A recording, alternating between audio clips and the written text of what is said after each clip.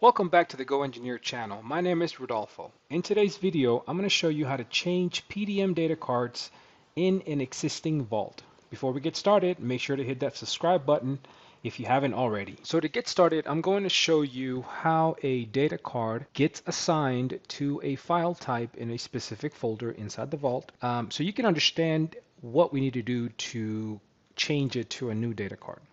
So if you open up the data card for that specific file type, you'll see that in the file extension section, there is that file type extension. So it's SLDPRT in my case.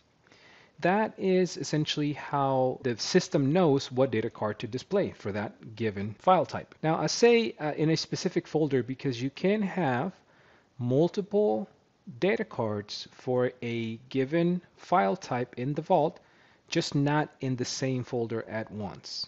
Okay, so for example, I can assign a different data card for the testing folder, a different data card for the slider folder, and so on and so forth for the same part files. So how do we change the data card uh, for this file type uh, in the same directory?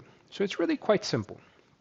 What I'm going to do is I'm going to import a new data card for part files.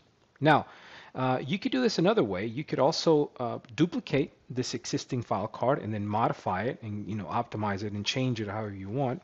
You can create a new data card and, uh, and what we're going to do is we're going to steal the file extension from the original data card onto our new one. I already have a, a, data card for part files that has the SLDPRT extension. So when I import it, it's automatically going to grab that file extension and make the new data card the default one. Okay, uh, but if you create a new one, you'll have to change the file extension and then it'll grab it from the original data card. So I'm going to open up the new data card. Once it has been imported, what I'm going to do is I'm going to drag and drop it to my file cards node and you can see that it is now listed here. Okay, in parentheses is the file extension. So as you can see, it grabbed it from the original data card and now it brought it over to the new card. So here I showed you the original data card, but by simply clicking in another part file, you see that the new data card is being displayed. Okay, so I'm going to do that again live so you can see how easy it is to change from one data card to another. Okay, so I'm going to open up the original, the old data card, and I'm going to put type in here SLD PRT without any periods or spaces or annotations, and I'm going to save it. Save it, I'm going to close it, and then you can see that the SLD PRT file extension is now in the original data card.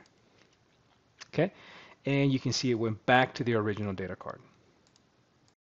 Thanks for watching. If you enjoyed this video, please subscribe and leave us a comment below if you have a topic you'd like us to cover in a future video. Visit our website, goengineer.com for access to professional training, upcoming events, and more from your number one online technical resource. This is Rodolfo Gutierrez signing off. Bye for now.